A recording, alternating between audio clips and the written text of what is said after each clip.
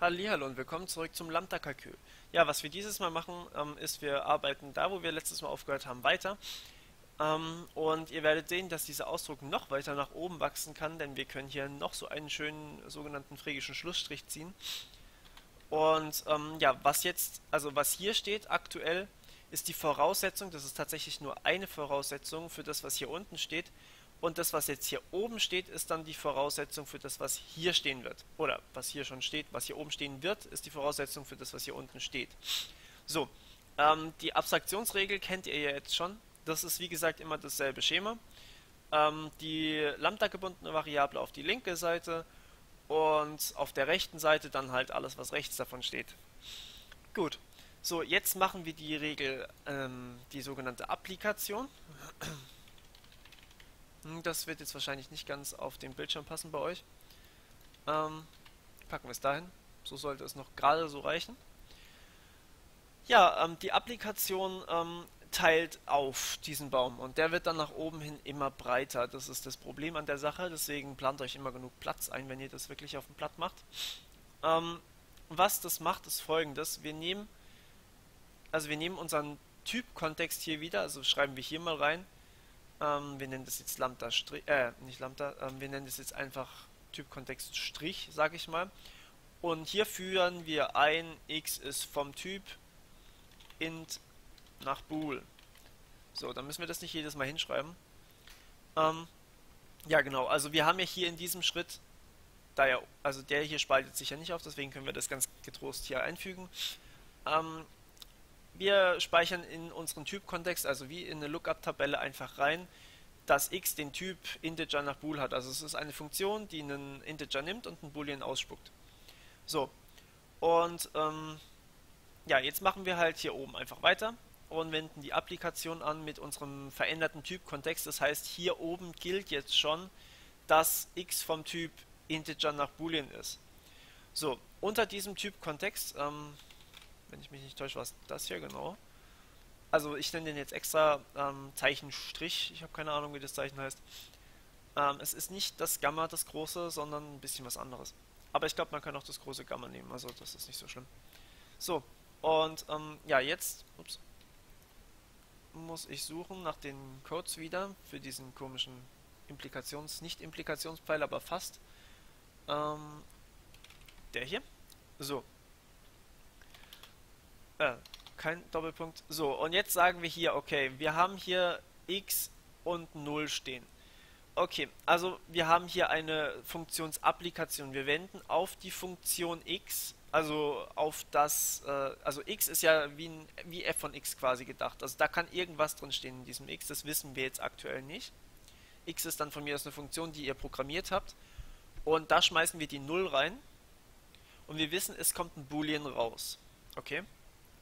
So, also sagen wir hier in unserem ähm, in unserer Applikation ähm, der linke Teil, also da wo wir das, die Variable reinschmeißen, also x in unserem Fall, muss von irgendeinem Typ sein.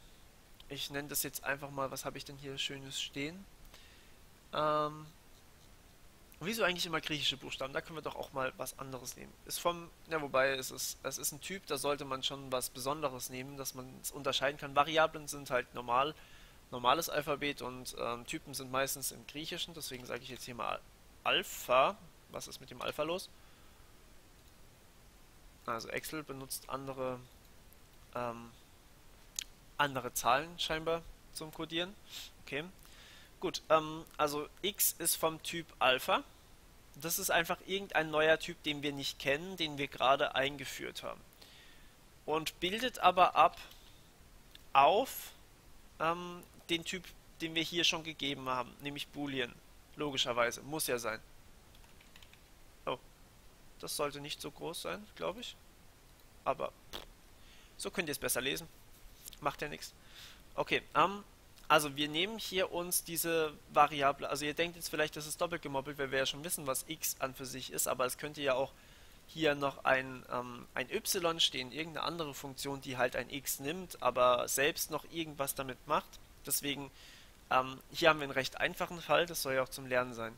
Okay, also wir nehmen quasi die Funktion, die wir hier haben, auf, auf dieser Seite und nicht die Variable, die wir reinstopfen und sagen in unserem Typkontext, für unseren Typkontext gilt, dass ähm, die Funktion, ähm, in, die, in die wir die Variable reinpacken, vom Typ Alpha, also irgendein neuer Typ, den wir uns gerade gesucht haben, auf den Typ, den wir hier gegeben haben mit dem Boolean, ähm, abbildet.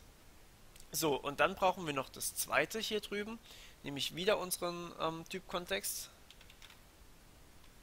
Strich wiederum, weil wir ja hier unten schon den Kontext erweitert haben, also bei der Abstraktion erweitert man den Kontext immer. Ähm, und sagen dann hier, okay, unter diesem Kontext gilt, jetzt muss ich wieder dieses Zeichen suchen, ich kann mir die Zahl nicht merken. 195. Okay. Ähm, so, und jetzt sagen wir hier, 0 ist vom Typ, den wir hier drüben benutzt haben, also vom Typ Alpha. Also sagen wir hier auch wieder vom Typ Alpha. Achso, ja, das ging ja nicht. Das ist nicht vernünftig. Komisch, dass es Beta kennt. Ähm, so, jetzt können wir doch aber sagen an für sich, 0 ist ja ein Integer. Das heißt, wir wissen implizit schon in unserem Kopf, dass Alpha Integer sein muss, denn 0 ist ja eine. Also wir sagen hier einfach, die Variable, die wir reinstopfen, das kann auch ein Lambda-Term sein und Alpha kann tatsächlich auch eine Funktion sein. Also es kann richtig kompliziert werden. Ähm, diese, ähm, diese Variable, die wir hier reinstecken, die hat den Typ, den wir hier von x erwarten würden als Eingabeparameter, also den, den wir neu eingeführt haben. So, und ähm, ja, das ist die Funktionsapplikation. Hier muss man den Typkontext tatsächlich nicht erweitern, das muss man nur bei der Abstraktion machen. Gut, aber dafür spaltet sich der Baum, wie wir hier sehen können, und er wird immer breiter. Das heißt, der Teil kriegt jetzt einen eigenen Teilbaum, eigenen phrygischen Schlussstrich. Und äh, der Teil hier, den schiebe ich mal ein bisschen nach darüber, kriegt auch seinen eigenen phrygischen Schlussstrich. Das heißt, die Implikationen, äh, die jetzt, also die Voraussetzungen, die jetzt hier stehen, ähm, bedeuten, dass das rauskommt und die Voraussetzungen, die hier stehen, sind Voraussetzungen hierfür. Die haben aber miteinander an für sich nichts mehr zu tun. Nur, dass die Variablen, die wir hier eingefügt haben, dieselben sind. Also Alpha ist dasselbe Alpha wie hier drüben. Okay. Ja, ähm, ich würde sagen, dann war es das für dieses Video und wir sehen uns beim nächsten Mal. Bis dann. Ciao, ciao.